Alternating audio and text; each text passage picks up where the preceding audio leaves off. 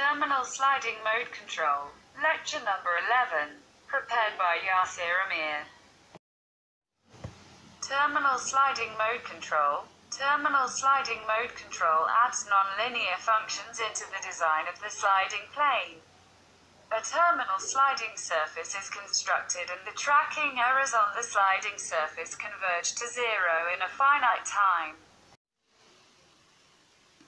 Here we have second order system given by this equation. Second order that's why we have two state variables. Or you can say it's second order so we have two state variables. f and b are nonlinear or they can be linear functions of state variables x1 and x2, while u is the control input.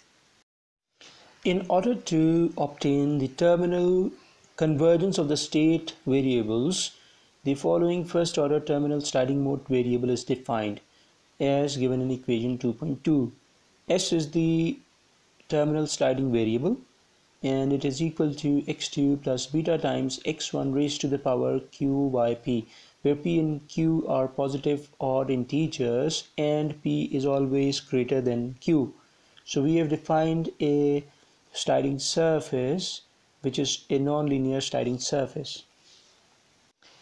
Now let us define a sliding mode controller of the form given in equation 2.4. u is equal to u positive function of x if s is positive and uh, u equals to u negative function of x if s is negative. The terminal sliding variable s can be driven to the terminal sliding mode s in finite amount of time. This is a characteristic of terminal sliding mode control. The nonlinear differential equation given by 2.5 which shows that the derivative of x1 equals to minus beta times x1 raised to the power q by p where beta is some positive constant determine the dynamics of the system in this sliding mode. When s becomes 0 we say that the sliding mode is there and during that uh, equation 2.5 governs determine the dynamics of the system. x1 equals 0 is called the terminal attractor of the system given in 2.5. If the initial value of x1 that is x1 at time t equals 0 that is x1 of 0 is not equal to 0 and P and Q are designed to satisfy 2.3 then. Relaxation time T1 is given by this equation which is obtained by integrating 2.5. The expression 2.6 means that when in the terminal sliding mode that is given by equation 2.5 the system state x1 converges to 0 in finite amount of time and also x2 converges to 0 in finite amount of time identically. So this gives us a time in which the state variables uh, converge to zero. Now, and another uh, important thing to be noted here is that the first order terminal sliding mode technique that we have discussed above has been successfully used for control of nonlinear rigid body robotic manipulators with the result that output tracking error converges to zero in finite time. The sliding uh, variable s that we discussed previously was for a second order system.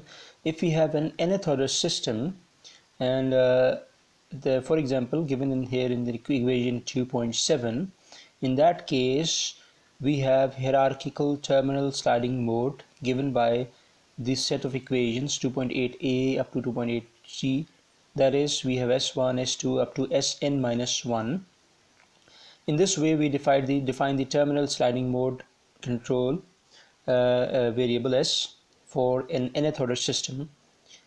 And uh, again, beta i is where i goes from 1 to n minus 1 is positive and we have p and q. P is always greater than q. Pi is always greater than qi are the positive odd integers.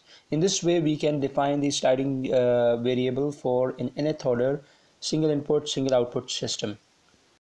If the terminal sliding mode controller is designed in such a way that the product of the sliding variable and its derivative for sn minus 1 uh, times the derivative of sn minus 1 is this product is less than 0 if this condition is satisfied then the terminal sliding variables uh, they converge to 0 in a finite amount of time sequentially.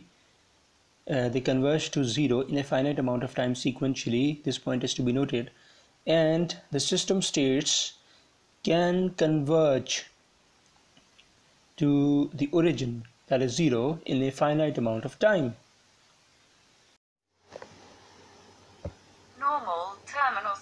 mode. Now let us look at all we have seen again in a bit of more detail. Again the sliding variable s is selected in same way, as we have already done, with all the same conditions. The control law, U, is given by equation 2.13 with eta as positive and L being the bound on the added disturbance term that we might have in the state equation for x2. Now analysis of uh, stability. Now in this part of the lecture I would uh, suggest that you should please take a piece of paper and do the working yourself to get a better understanding. One important point to be noted here is that uh, the state variable model that we considered earlier in this lecture had the functions f and b and there was no disturbance over there. We have not shown that uh, explicitly in these lectures but uh, you can take the state variable model in such a way that instead of b we have now we have g and g is being multiplied with u and we have an added disturbance term that represents the unwanted disturbance uh, being added into the system. Now this with this kind of state variable model in our minds we have differentiated the state variable s and replaced the uh, derivatives of the state variable x2 and x1 with the state variable model and we have done a bit of uh, manipulation then we substituted the control law that we defined in the earlier slide in the second step. And uh, finally we have this uh, we multiply it with s on both the sides in the last step. And uh, since taking the s mod of s common we have the mm, we have eta we uh, and eta plus l within the bracket negative sign outside and then we have the disturbance. The disturbance and uh, uh, the bound on the disturbance that is L they will be subtracting subtracted from each other. And uh, we have uh, imposed a condition that disturbance is always bounded from the uh, top by L.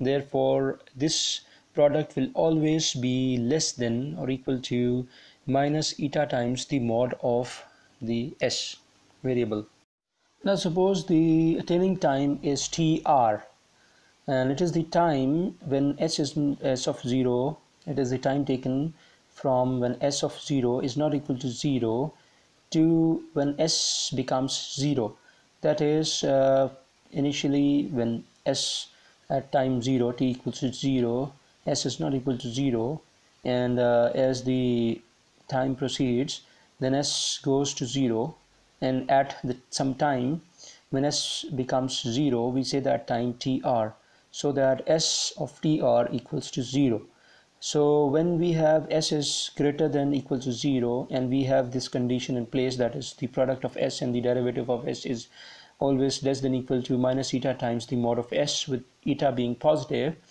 Now remove the s from both the sides of the equation inequality and integrate both the sign sides uh, starting from the initial value that is s of 0 where t is 0 up to s of tr that is time becomes tr by integrating on both the sides we get this. And since we know that tr is the time where s of tr becomes 0 so with a bit of manipulation um, we have this attaining time tr is always less than equal to s of 0 divided by eta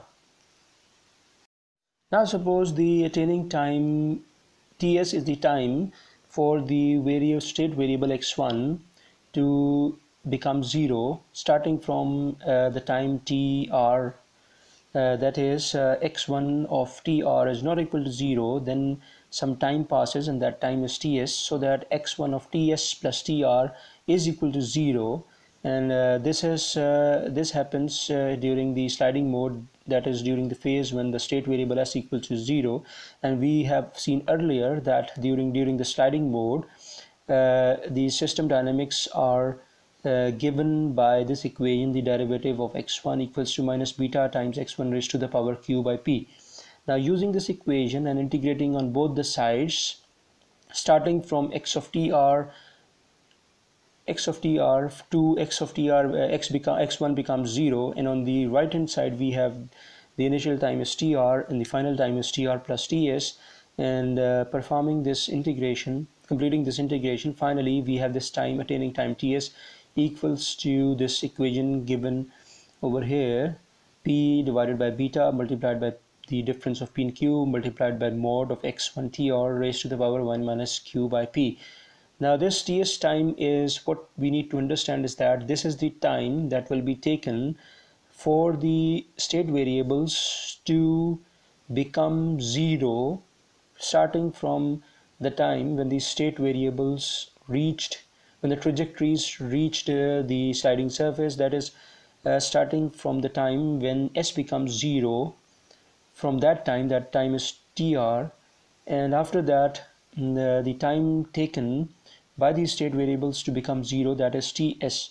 So starting from right from the beginning from t equal to zero the total time that the state variables would eventually take to become zero would be ts plus tr during which ts we can call it the sliding time that is the uh, it is a finite amount of time which will be taken by the sliding variables to become zero SI, Artificial Intelligence C and Yasir would like to end our today's lecture. With special thanks to these gentlemen. See you in next lecture. If you have any comments or suggestions do write to us, you can contact us via email or WhatsApp 0321 25 02401 or outside Pakistan plus 92 321 250 2401.